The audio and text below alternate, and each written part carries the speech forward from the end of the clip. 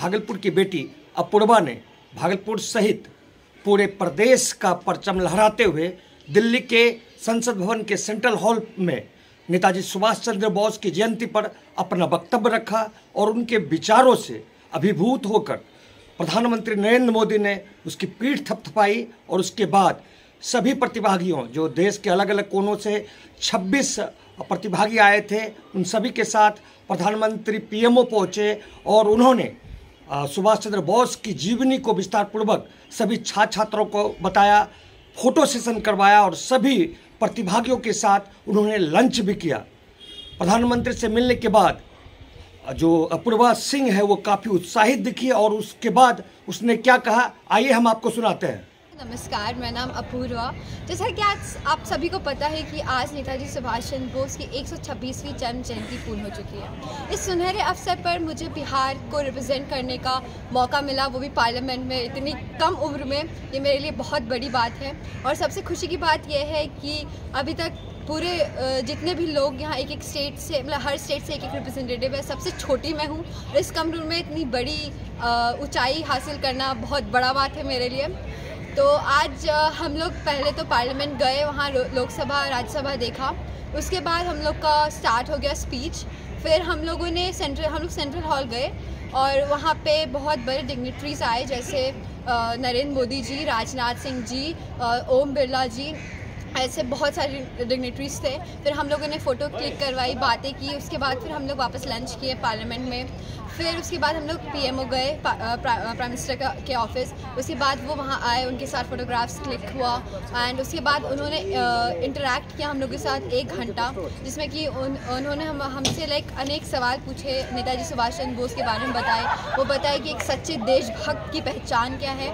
और ये बहुत बड़ा मौका था लाइक बहुत बड़ा अवसर था मेरे लिए और one of the best moment I can ever experience in my life so इसका पूरा श्रेय मेरे पेरेंट्स मेरे फैमिली सबको जाता है और बस आप लोगों का आशीर्वाद ऐसा ही हमेशा बना रहे मेरे पर और मैं ऐसे ही कामयाबी हासिल करती रहूँ और आपका बिहार का और पूरे भारत का नाम ऐसे ही ऊंचाई पर पहुंचाऊं। धन्यवाद। मूल रूप से बांका के चटमा डी निवासी और अमरपुर से पूर्व प्रत्याशी रहे डॉक्टर मृणाल शेखर और भागलपुर की पूर्व उप महापौर डॉक्टर प्रीति शेखर की पुत्री अपूर्वा ने संसद भवन में अपना विचार रखा और उसके विचार से जिस तरह से संसद में प्रधानमंत्री सहित सभी मंत्रियों ने ताली बजाई और शबाशी दी, उससे उत्साहित होकर उसकी माँ डॉक्टर प्रीति शेखर क्या कर रही हैं? आइए हम आपको सुनाते हैं। आ, मेरे लिए खासकर अपूर्वा की माँ के तौर पर आप मुझे बहुत खुशी हुई।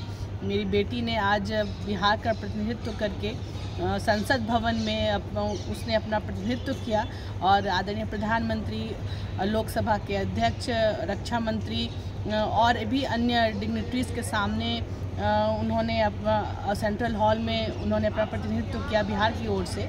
और मुझे बहुत इस बात की खुशी है कि जो पूरा समूह, पूरे देश से जिन तेईस बच्चों का चयन हुआ था, उसमें सबसे छोटी मेरी बेटी रही और इतने कम उम्र में इसने ये मुकाम हासिल किया। ये हमारे लिए बहुत ही गौरव का विषय है। और मैं इसके लिए ईश्वर से ये प्रार्थना करती हूँ कि ये आगे भी इस, इसी प्रकार से इसे कामयाबी मिले और ये देश की के लिए के लिए गौरव का कार्य करते रहे।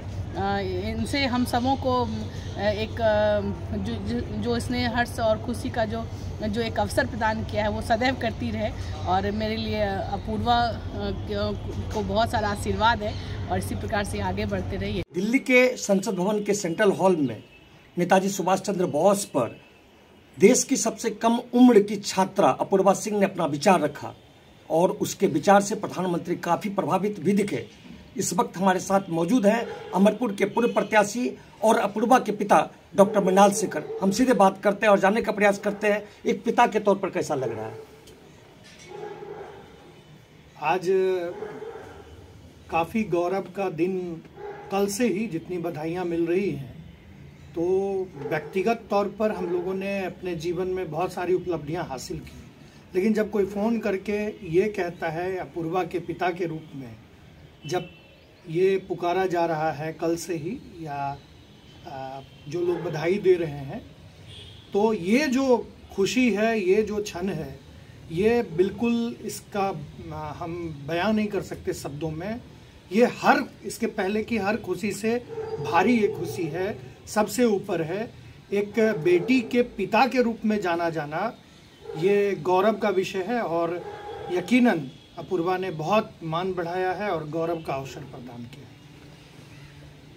जिस तरह से अपूर्वा ने अपना वक्तव्य रखा है संसद भवन में और उसके बाद लगातार बधाइयों का दौर जारी है एक आपको और आपकी धर्मपत्नी डॉक्टर प्रीति शेखर को प्रखर वक्ता के रूप में जाना जाता है। कितना प्रभाव पड़ा है उस पर? देखिए, परिवार में मेरे दादाजी भी स्वर्गीय गुणेश्वर प्रसाद सिंह, बिहार सरकार के पूर्व शिक्षा मंत्री रहे, मेरी माताजी जिला पार्षद रही हैं, और पूरा परिवार कहीं ना कहीं से सामाजिक जीवन में, राजनीतिक जीवन में जुड़ा है। और ऐसे में बच्चे अच्छा करें तो ये बहुत खुशी होती है, और जो हम लोगों ने एक मूल्य को पकड़कर राजनीति करने की कोशिश की, कि सामाजिक जीवन में भी है, और जिस तरह से राजनीति में हरास हो रहा है और ऐसे में मूल्यों को पकड़कर या आप कहिए कि आज के विषम परिस्थिति में आपके बच्चे अच्छे हो जाएँ और उनमें गुण हो जाएँ तो इससे बड़ी उपलब्धि और खुशी की बात नहीं हो सकती। और यकीनन आ, उसका असर तो बच्चों पर पड़ता ही है कि आप जैसा करते हैं आपकी जैसी आ, आपकी जो धारा होगी आपका जैसा कर्म होगा उसका असर निश्चित तौर पर बच्चों पर पड़ेगा। तो आ, और जो अभी जो उपलब्धि हासिल की है किसका किसका देन इस पर आपको लगता है कि आज जो अपूर्वा, जो अचीवमेंट हासिल की है किसका किसका प्रभाव दिख रहा है? देखिए, मैं आपके माध्यम से समाज को भी एक संदेश देना चाहता हूँ कि हमारा पूरा परिवार, मैं अमरपुर से चुनाव लड़ता हूँ और छात्र जीवन से ही इंद्र को मैं इसके लिए धन्यवाद देता हूँ। एक और संदेश आपके माध्यम से मैं देना चाहता हूँ कि पहले जैसे हमारे समय में क्या होता था कि गार्जियन तय करते थे कि भाई हाँ तुमको इंजीनियरिंग करनी है, तुमको मेडिकल करना है, तुमको इस फ़ील्ड में जाना है।